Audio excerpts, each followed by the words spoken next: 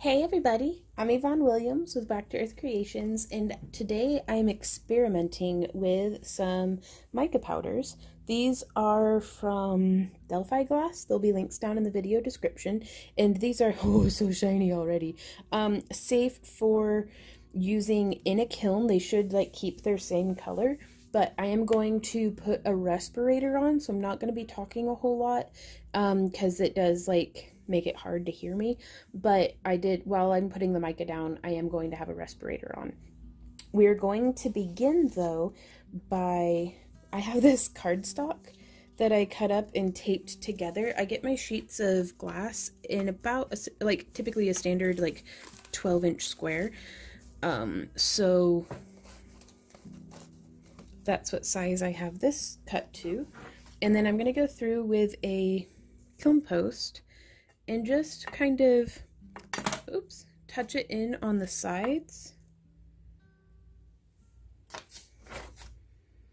And this way it won't um, kind of block the, well, it, it, it holds the sides up. That way the glass and stuff that we put in there doesn't get all over the place. And I am using Bullseye Thin Fire um, kiln paper. I do believe that's what it's called. Let's see. It says it on the back. Um, this side down. Bullseye glass. Well it's it's the thin kiln paper. Uh, and I, I, like that better than kiln wash. Um, it cleans off easier. It doesn't leave as much texture. And I don't have to wait for it to dry. So uh, to explain what I'm going to be doing I'm going to put down a layer of this. And then I'm going to put down a layer of did I lose it already? Here it is. Um sorry. Uh mosaic size clear glass. I'm using the same COE. The mica is, it doesn't care what COE you use it with. It's just, that's the coefficient of expansion. Like I could use this whether I'm doing lamp work, uh, which is a 104 COE, whether I'm using 90 or 96. Today I am using 96 COE and the firing schedule will be down in the video description, but I'm going to mask up and then we'll get started. Okay, so I know I said I wasn't going to be talking, but here we are. Um, let me grab a little like spoon.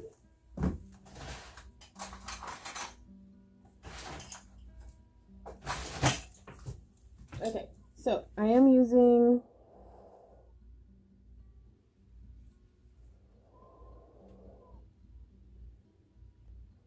these two tools. And I'm going to open this up. Ooh, it's on my fingers and stuff already. And I'm to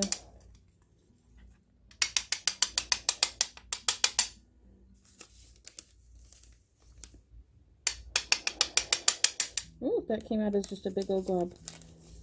Okay, I don't know if I should do the less is more approach. I've never really been one to be like, oh yes, less is more. Um, Mm-hmm.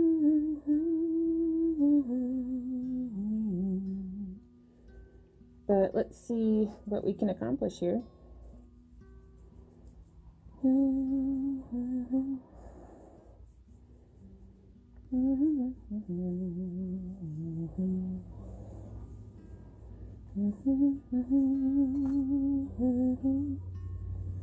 Okay,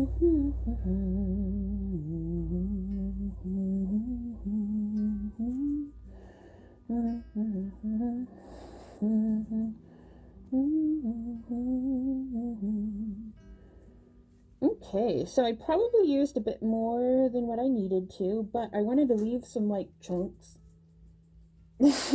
just to suspend a little bit between some of the other things that we're doing. And I'm going to try to be consistent about what texture I'm leaving too, just to see if that makes any sort of difference when it's all said and done.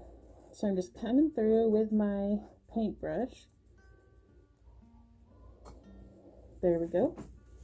And now I'm going to sprinkle on the clear.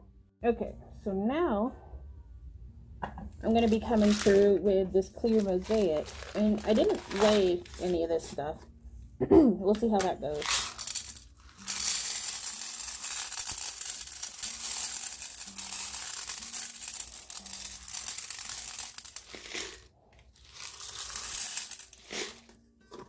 So I'm doing this pretty densely because what I'd like to accomplish here is I want, okay, I'm not mixing anything. So I'm going to take my mask off for just a sec. Oops, bumped into the tripod. There we go.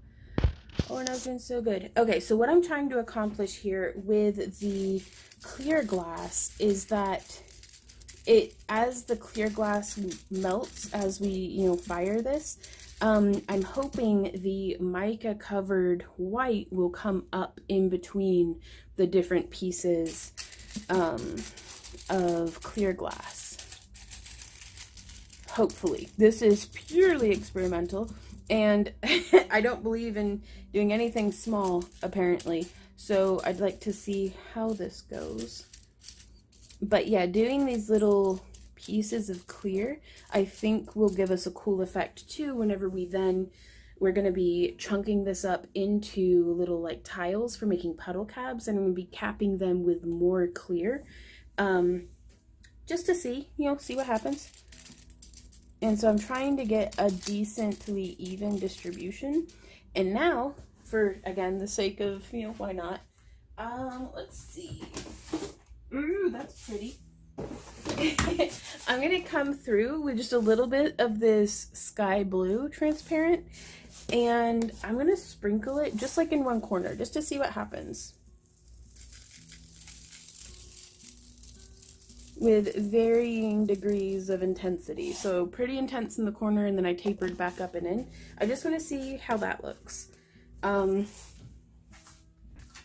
yeah, we could probably do some purple maybe. And now here is some fine grain light purple, and this is transparent. So I'm going to come in on this side.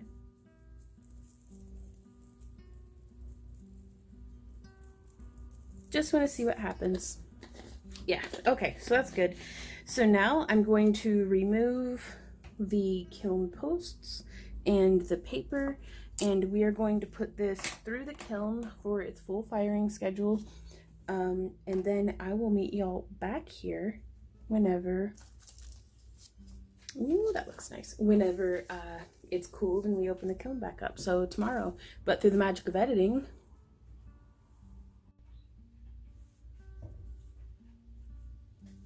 So this is the following day, and we have some really interesting results. I haven't touched it yet.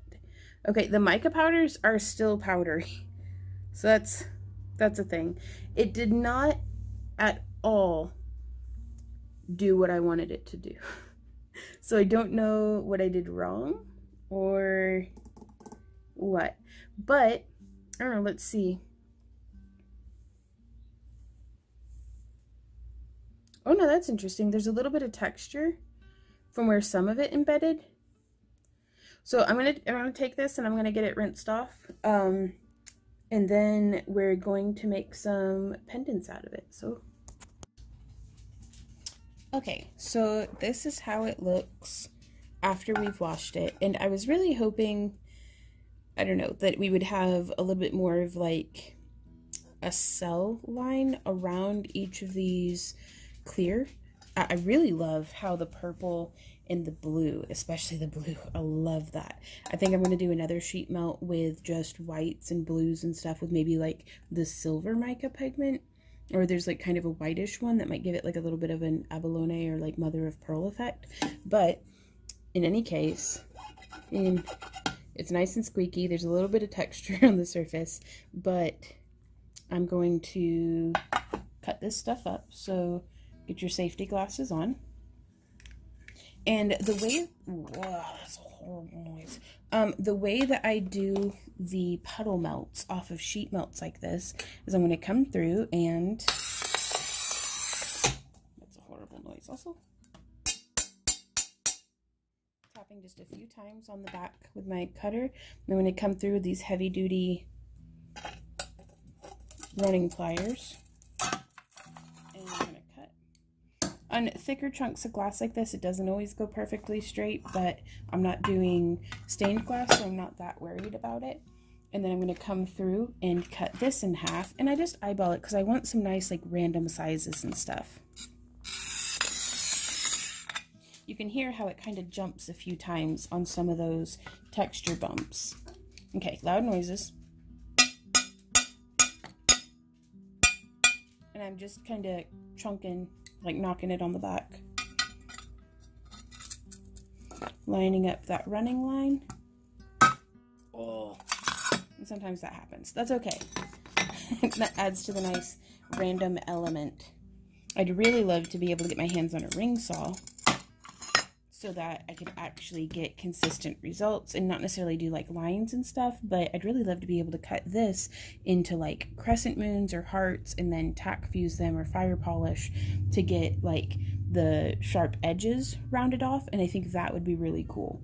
But in the meantime, I'm gonna take my uh, nippers and I like to take off the hard tips from like right there, how that's like a point that you can get some weird effects of that sometimes. So I'm just chunking that. And let me grab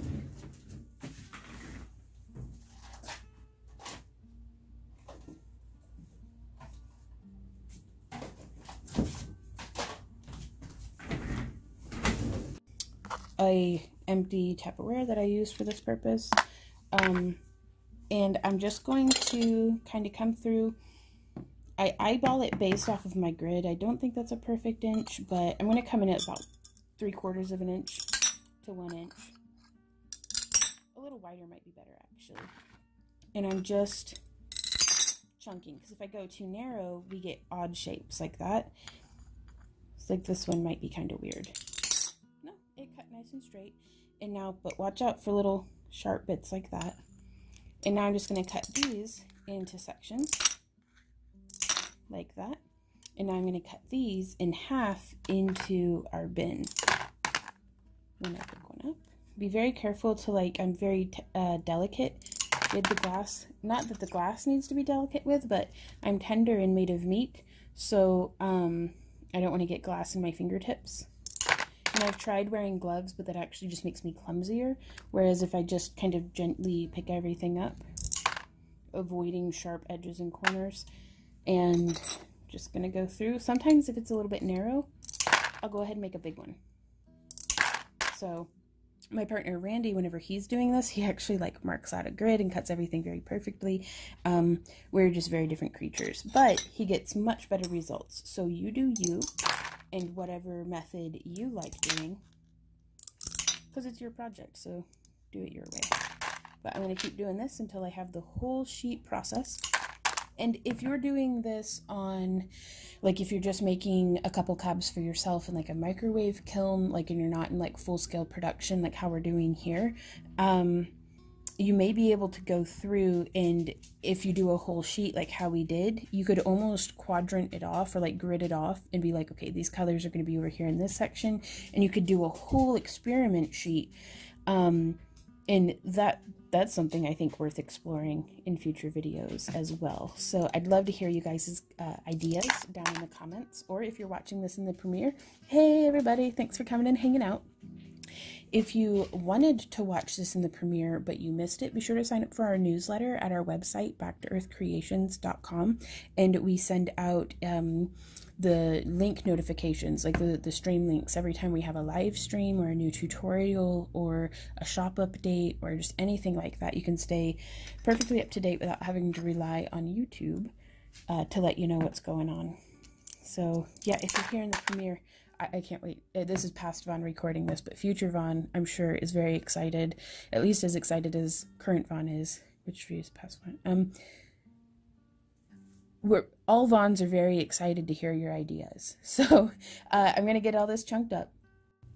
So typically, whenever we make our puddle cabs, we'd just take a tile like this and then find a similarly sized piece of clear glass that we've cut up and we'd stack them like so, possibly on top of other colors too if we want, um, like if this were a little bit more translucent, we would do like maybe an opaque color, a translucent color, and then capped in more clear and make that into a cabochon.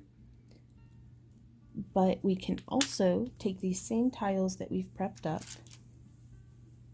and use them in our molds. And I wanted to demonstrate that to you guys as well.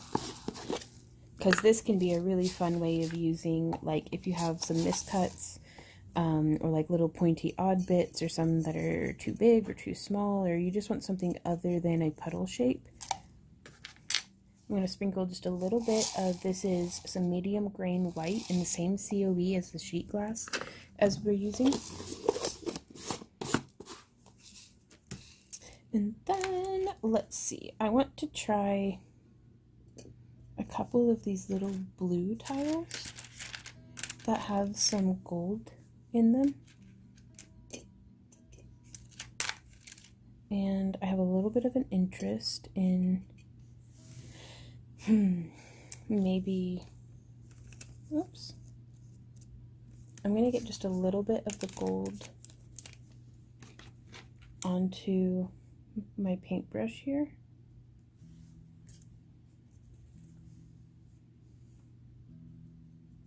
And I'm going to kind of settle it. I just want to see what happens, like, for science, right?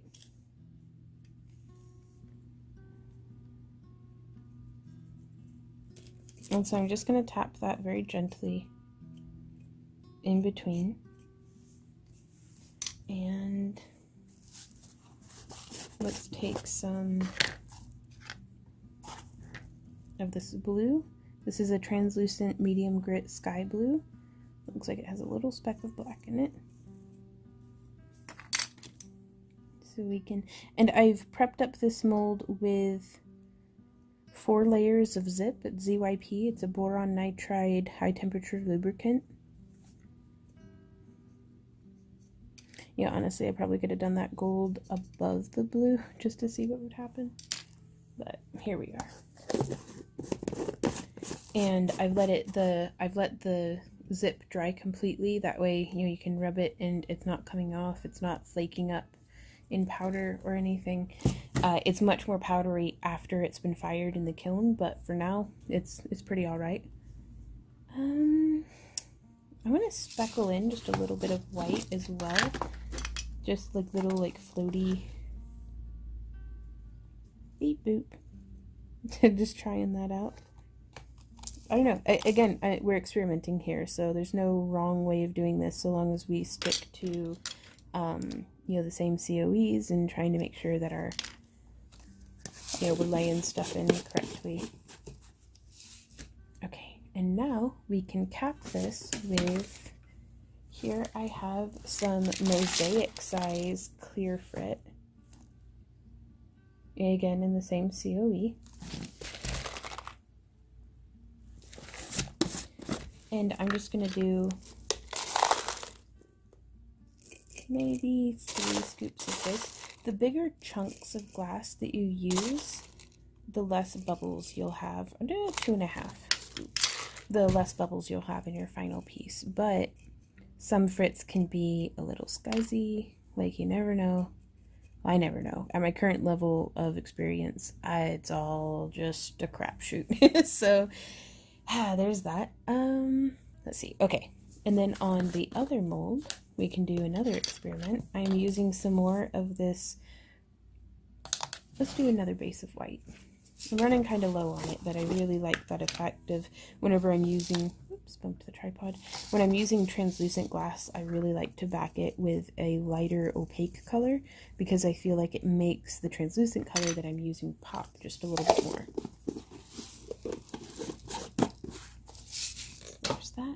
And then we can come in here with, there's that one. And I'm going to try maybe just one in the middle. And then I'm going to come in here with this powdered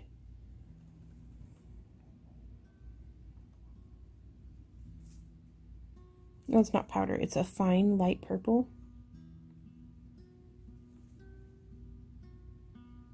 Just sprinkling a bit. I'm going to clear it off of the surface you know what? No, I'm going to leave it there. I'm really interested to see how this plays out.